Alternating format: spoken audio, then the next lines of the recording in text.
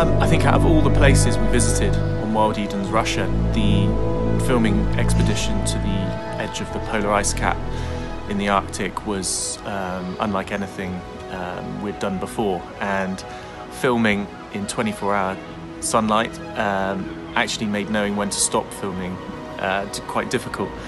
Um, we'd gone there in search of and in the hope of spotting a polar bear and being able to film one.